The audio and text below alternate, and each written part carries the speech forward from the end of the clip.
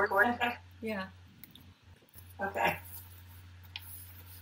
I had to stop the recording because it was, I guess it reached its limit, so I just restarted it again. Um, and we talked about the witnesses that you need to know that information before you can give witnesses that could give helpful information. And a party, like part of the law, is that when you give the witness, when you give the name of the witness, you can tell the judge what information this witness could give that's relevant. Like in civil law, don't you often have affidavits from witnesses, or what do you do? Yes. Like when you do the the lawyer questions the person in advance before they go on the stand. Right, you do an affidavit or you do, yeah, you just, um, yeah, every, and it has to be given, like it has to be shown to the other party. The judge won't even, it, it was, you take a deposition, you know, the judge won't even look, it won't be admissible in court Unless if the, if the other side got notice of it. Even if you get it like last minute, like they'll call it like unreasonable surprise or something, you know, like you can't, just can't, you have to, yeah, yeah, you have to have, it. everything's got to go to the other side. and that's even before the trial. Before the Yes. trial happens, everything has to go to the All other the side. So, All discovery. Yeah. hmm and in canon law, there is a part where the other side gets to see everything. My concern is they let the respondent see it way too late, as compared to letting the person know what's going on in the beginning. They let him Right. know kind of How at do the you build end. a case? How do you build a case if you don't even know what you're what they're alleging? You don't know what people are saying. You have to get their testimony. Yep, So, yep. and and the, the the canon law doesn't say that the judges is required to give the party all the testimony as they collect it, but it does say that they have to give them a copy of a legitimate petition that has to include the grounds and the person's own description of what facts support the grounds they're alleging. I mean, it's a simple thing. Simple thing to provide somebody with, and it's just. I think it's you know a lack of due process, but you know it's the church. They can do whatever they. Well, it's in canon law that says they have to, so they're, they're violating their own rules. Yeah, and the, the rest of this, there's a, there's one more section of this letter, and then it gets really technical because I start quoting a canon law professor at Catholic U. So let's Okay. go over to um, declining to send the tribunal proofs prematurely. Um, I think I'm just going to talk about this one rather than than read it because we kind of covered it already. But this gives a, a bullet point list for a defendant, a defending respondent that just says, "Look, I want to participate. I just want to do it in the proper manner so that I have the right information before I participate, and before I start giving any testimony, answering a questionnaire, I want to get my own copy of an actual petition signed by the petitioner. Like if it's not signed by the petitioner, who knows? Like the, the, anyone could have written it. Like that's really important and and and um, you want the petitioner to do what they're supposed to do, which is say the grounds and support it. But then um, also the judicial vicar is the one that's supposed to be accepting the petition, because I have seen cases where letters are going to you, but instead of being signed by the judge, where it looks like a real signature, you can tell it was put on with a computer. They're all exactly the same. So if all Uh, the signatures of the ju- the judicial vicar are exactly the same, or the judge are exactly the same, that raises the question: Did the judge even look at this? And Oh, yeah. I can imagine a scenario where I work in an office and I have been given the authority by the judge that I'm the the auditor or whoever I am. I'm somebody who's been working at a tribunal. I can type fast, and I don't know the canon law. I don't understand any of these complaints that someone might be making. But my job is to notify petitioners. My job is to accept petitions. So when I, tribunal worker lady, receive a petition, I just generate a letter and I stick my computer signature on it. It's the same form letter all the time. So then it raises the question if the person if the person who doesn't have competence to do it is doing it, it's another kind of thing where it doesn't count. It's not real. It's not a real. Yeah. It's not a real acceptance of a petition if it's not signed by the judge. Or at least the judge didn't see it and the one who authorized the signing. Because I still never had a clear answer on whether these ink stamped or computer generated signatures count. But they certainly raise the question. Yeah, they do. Yeah. So that that's another reason. And then um, that's why people want they want their own copy of the judicial vicars accepting the petition, and then they want their own copy of the judge identifying the grounds that are going to be investigated. because par- part Oh, of so you- you're even asking for the, a copy of the letter of the judge accepting it, that's the notification that it's going to be accepted by the judicial vicar. Okay. when when you get cited, you're supposed to get the copy of the petitioner's petition and a copy of the judge's acceptance of it. Yeah. Both of those. And if you don't get it, because This rarely happens. This. Well, part part of the part of the um, the problem for defending respondents could be, let's say the petitioner did sign it and they did allege grounds and they allege grave lack of discretion in the judgment. Okay, and then the facts and proofs in a general way that they gave was, hey, my wife is a jerk. When I married her, I didn't know she was such a piece of work, and we got in terrible fights and we broke up because we weren't compatible. Let's just say they wrote that on the petition. Well, the tribunal auditor has no idea and is not supposed to be expected to know whether that's a good enough reason to do a case. But the judicial vicar is supposed to know that. And you, as a Right. respondent, could receive that petition and write back and say, Excuse me, what they just wrote is about like our arguments that happened 10 and 17 years into our marriage. That has absolutely nothing to do with him suffering a grave psychopathology. and you have to have the ground. I, so basically, what's going on is they're going to collect what the petitioner says. Then they're just going to send their questionnaire, and they're going to hear what we have to say. But we're we're just talking in a general way. We don't even know what the petitioner is alleging, and now we're just asserting our rights with this letter, so we can get what I would call due process. Right. And, and if someone who's not competent or qualified or allowed to accept in a petition, like some lady who just worked for the tribunal that does what she was told and she's been doing the same thing for 10 years, if she's the one's making these judgments because we have these ink stamp signatures that are fake, So vicar is supposed to not. You're- you're- okay, so that's yep. this letter shows you how to raise a question about that. So if you see the signatures, are it's just rubber stamped. It's boiler. They gave a boilerplate signature. Yeah. Okay. And I mean, you can tell now with software, like I can just take signatures and I put them all next to each other and I make them opaque and you put them on top of each other and they're exactly the same. Like, okay, mm-hmm. something's something's puzzling here. It's not a real signature. So then the part where it gets really, where I use these quotes from this professor Daniel. Um, this is hard, Irene. um, But it's amazing how you got you got all this uh, law to defend, because otherwise they just keep doing this. How how can we do this last part? Um, Four point eleven. Are we eleven? well, we're kind of at nine, nine and ten, nine and ten and eleven and twelve. Um, I'm I'm almost of the mind that I can summarize, and we'll see where it goes with you and me talking about it. Because this Okay. this part nine, ten, and eleven, um, I quote Professor William Daniel, and he is now like a consultant consultor at the world's highest tribunal, the Apostolic Signatura, where Cardinal Raymond Burke used to be. So it's like if if someone is aggrieved by what their local tribunal does, you can Mhm. appeal to the Holy See and you'd go to the Roman Rota. And if you're aggrieved by what the Roman Rota does, depending on what it is, you can go higher. And that's where you go to the Apostolic Signatura.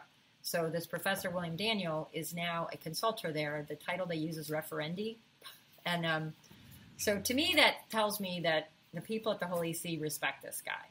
So Okay. some of the findings that I share, and I've got him quoted in this this rebuttal, is he's talking about how someone could be in a position to have a case at the Signatura where they are trying to get corrected a local tribunal that does one of two things that are should be void and null as if they never happened.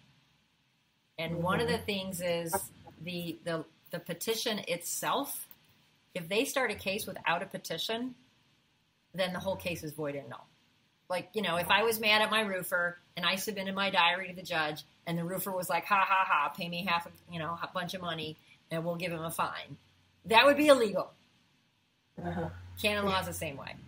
if you if a petitioner gives a diary to the judge and then they issue an annulment, that's illegal. so, anyways, Professor Daniel has this article in the Scholarly Canon Law Journal describing. I mean, he doesn't use my stupid examples. He uses very technical words, but it's that the the um, starting a case without a petition is a reason that the whole case is null. So Okay. that's one of the things that's addressed in these last couple paragraphs. And then the Case dis- go ahead. like a case is dismissed. It's dismissed. It's like they have to. There's no. If it's just grounds to throw it out. Right. It's yeah. It's um the sentence is irremediably null. The sentence cannot be repaired. Like there's some kind of things that are remediably null. That's hard to say, but it's remediable. It's fixable. So it's like if the judge forgot to put a signature on it, okay, he can fix that. If they got the date of your wedding wrong and it was a clerical error, they can fix that. But if, if they started a case without a real petition, it's irremediably null. The whole thing is void. It shouldn't happen. So part of the reason I've got this in here is because the petitioner who's um, disheartened that the tribunal is doing this has set himself up from the very beginning to have a, an appeal that gave the information to the judge with the intention of if this goes all the way to the top, I'm I'm setting myself up to go to the signatura Yep. Grounds for appeal. and ask ask them to intervene and correct the local tribunal if the tribunal needs correcting. And according to what William Daniel writes, they need correcting if they're doing this. So the, the other thing he's talking about is that the judge's acceptance can also be a null juridic act, the decree where the judge accepts the, case. Because in canon law, when the judge does something, unless it's a really boring thing like scheduling an appointment, or it's like, hey, we're giving you three weeks to do such and so, um, the judge's decrees are null juridic acts unless he gives reasons. So when the judge, and, and part of that is if his reasons were unfounded, the aggrieved party needs to know his reasons in order to appeal it. Right. Yeah, you have to know. You have to know what you're appealing. Yeah. So when the judge issues his decree accepting a petition, he usually doesn't give reasons, he just says he accepts it. But what Professor Daniel talks about is when you put the petition next to the judge's decree accepting the petition together, those are the reasons for acceptance. Because the law lists the elements that are required. So if it has a signature and he accepts it, and the law says it needs a signature, well, that's one of the reasons he accepted it. If it needs to list the grounds and he accepted it, and the law says it needs grounds, okay, that's his reason. His reason for accepting it is the grounds that are in the petition. So even though he doesn't say the reasons, the law itself provides the reasons when you put the petition and the decree of acceptance together. So Professor Daniel talks about how you could claim that his decree of acceptance also is void when the petition doesn't have what it has to have. Right. And it was easier to just tell you about this than try to read it because that's that's Yeah. what the rest of this is about. It's giving it's giving quotes from Professor Daniel. Oh, oh, there's one last one. Um, Monsignor Cormac Burke. I have a book on my shelf by him, published by Scepter. Wait, is Scepter or Sophia? Scepter or Sophia? I think it's Sophia Press. Anyways, um, this guy, this this Roman Rota judge, which is the tribunal between the local tribunals and the highest one at the Signatura, he was super pro marriage, and um, so his cases are quoted a lot by people who are trying to support the validity of the marriage. And the last quote I have on here is noteworthy jurisprudence from the Roman Rota. Um, the judge should re- reject the libellus in the beginning if the petitioner is saying grave lack of discretion of judgment, which is 1095, and the petitioner mentions nothing about psychological problems. So I just give a quote from him in one of his Roman Rota cases, where it's like if if this person who alleged grave lack of discretion of judgment doesn't describe any signs or symptoms that make present or prove this serious psychopatholo- psychopathological psychopathological anomaly, psychic anomaly, So they just say ten, but they don't say what the grounds are to support 1095. um, it's Right. it's giving facts to support a 1095. Okay. So he's talking about the kind of facts. Um, it follows for a libellus to be accepted under 1095, there must be some allegation of a gravely anomalous condition present at the moment of marriage in the person accused of consensual incapacity, accompanied by assertions or claims relating to signs, symptoms, or events which, if substantiated, could make the presence of such an anomaly more likely. If nothing gravely anonymous is alleged, if nothing is asserted that could point to at least the possibility of a grave psychic anomaly, if there's no pre wedding or post wedding medical history of some definite psychic disorder, if all that is spoken of is simple immaturity or commonplace character defects, etc., then there is good reason to consider that the libellus should not be accepted as clearly mm-hmm. lacking in sufficient foundation. Church tribunals are not fulfilling their essential ecclesiastical role when they devote time to cases without substance, lacking the minimum fumus boni iuris, which suggests that there is a true issue of justice to be resolved. Fumus bonus iuris, it's smoke, good law. It's like where there's smoke, there's fire. I think it's smoke, good law. Mm-hmm. So it's like, like if your husband were to petition for an annulment, is he going to describe how he was in and out of psychiatric wards when he got married? Mine's not. So, so it's the judge is supposed to be rejecting the case from the beginning unless the petition describes these serious psychic problems. And I'm afraid that a lot are letting petitions go through that have none of that. Seems like. And there, did you get any cases where they won't? I didn't realize that they can reject the p- petition. I thought everyone that every petition they get, they open up an investigation, but they actually have grounds to reject it. Do they, They- ever it? Well, Cormac Burke says they should.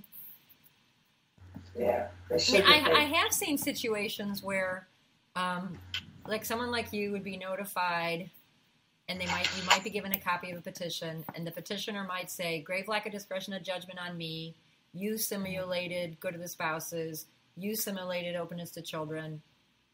So it's like they put a, they put several grounds in there, and then when you respond, you would respond, "Look, I have kids, so this is ridiculous to waste our time investigating this, or I certainly wanted marriage, and I'd be pleased to give you, or you know, I'm intended permanence, or whatever. Like you, you would give a real short description saying why you think what he put in his petition is just like a waste of time. So I have seen mm-hmm. situations where judges originally say they're going to do multiple grounds, and then they back down when they actually investigate the case, and they only do Oh. one ground okay. which makes it easier That's- you know at least you got you're not wasting your energy on telling your whole life story when it's irrelevant Right. well irene Seems- that went a lot longer than i thought it would but i think for the person who had questions like your average person is not going to be interested in this but the person who's in that Unless you situation get it. I mean, unless you get annulment papers. I mean, fortunately, you know, I haven't got them yet, but it's just it's not worth talking about You know- overwhelming because how do you deal with all this? Because it's just like the civil. yeah, you do the best you can. There is something I did want to touch on. I have heard respondents being reluctant to use a letter like this because they feel like it's so impersonal. It's so harsh. It's so um, it's like they just want to say we and I. It's like they don't want to tick off the judge. Is how I feel. It's like, hey, I want this judge to. Yeah, they feel like, well, yeah. Well, like it's funny because I did a separate. This is going a little off topic. I did a separation decree, and that is now being investigated because my tribunal violated their own canon laws, and they know it, and they know they know my name, and they would love, you know, my husband to file for an annulment, and I know it would be granted because you know you just they they you know they handle annulments and they handle like the the, the, separation decree, so it could shoot me, you know, later on, like because I'm sure they're not happy. you know, so but what are you gonna do? Yeah, you don't, you don't want to, but these are procedure grounds. So So some people might not want to hold their ground because the tribunal would be more likely to go against them if they tried to hold their ground. I don't think so. I mean, it depends. I mean, everybody gets, you know, judges. Some judges, you know, they might take a, you know, liking to the other person. I mean, I know when you go to court, like when I had the male judge, he was much kinder and understanding. And it's, it's, it's a luck, you know what I mean? It's the luck of the draw. Like you just don't know. And then, you know, I went to the female judge and she was, you know, horrible. So I don't, you're not in front of them as much. I, I don't, you have to do it, you know, but could it, could it do that? I mean, I guess it could, you know. I guess mm-hmm. one one thing I tell people often is, given the state of the church right now, nobody knows what's going to happen. Nobody knows how a local tribunal is going to go. No one even knows how the Roman Rota is going to go, given the state of the church right now. But some people, I think the people who end up collaborating with me have the mindset that I want to try everything I can try. And if the law says that I'm supposed to have these things, and it certainly would make it a lot easier for me to uphold the validity of our marriage if I had these things, they all make sense. I would rather right. ask for them and then let the chips fall where they may. Exactly, exactly. Because how do you how do you defend your case if you don't have the facts and proofs and what they're alleging? You have to have that. So, because you have to. I mean, this is great that you have these things you can challenge them on, whether they follow it or not. And did you get any success in that? Like, you know, I'm thinking of one situation. Um, there was a tribunal, and I'm guessing that you know whoever was on on staff there was just using the form letters they've been using for years, and a respondent pointed like the form letter that went out to the respondent was asking the respondent to be the co-petitioner, so they would petition together. So if the respondent used the forms they they gave him, he would be mm-hmm. petitioning along with his wife for an annulment. So he didn't. I mean, he didn't know that. He's just looking at the forms. But I knew that. Mm-hmm. So I was describing to him that this is what's going on here, and I suggested a way that he could write that to the tribunal. And the tribunal ended up writing him a really nice letter. It's like, thank you for pointing that out. We're going to change how we do it from this point forward. So it all depends, you know, like the personalities in the office. You might get a, a terrific response from one tribunal, and in another, you know, tribunal you won't. I mean, I don't think it's going to be different personalities and perspectives. I mean, and these people are tasked with finding the truth, and they are tasked with doing it in the name of God, and they are tasked with doing it with the church's understanding of marriage. That's that's what they're tasked with doing. So that's what they're supposed to do. But then why do we have hundred percent of our annulments being granted? So I, in some dioceses, that's a story for another top. That's a topic for another, day. Know, that's what they're supposed to be doing, but one has to wonder, Bay. I'm, I'm not to, arguing with you. You know, so I think there are some, you know, improper procedures being implemented in all these I mean.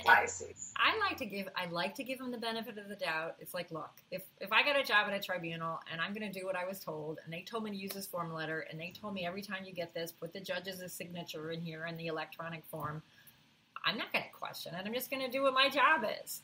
And I even right. I want to give benefit of doubt to the new canon lawyer priests. If they just came out of canon law school school is a fire hose of information. Nobody can absorb all that information. And then they go get their job at the tribunal and they're told this is how we do it.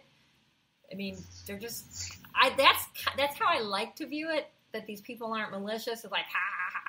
Or, or they believe that they're healing you because you're healed if you can go find your new soulmate. Oh, it's so nice. I think some of them do mean well. I know this is off topic. They do mean well. Like I, you know, one time one priest, very nice priest, me like, did you get your did you get your marriage investigated? You know, to see if it's that because they want you. They think, you know, it'll, make, it'll bring healing. You know, but it's, no. know. But yeah, very good priests will, will say that. You know, meaning well.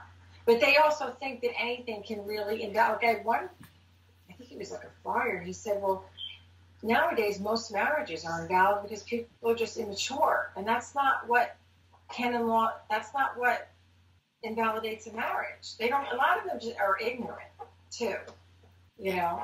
Or yeah, I mean, there's a whole there's a scholarly there's the dissertation by Kate Godfrey Howell that I found it to be a very I mean, it wasn't it wasn't an easy read, but I mean if you were a lawyer or you've been studying canon law for a while, you could plow through it.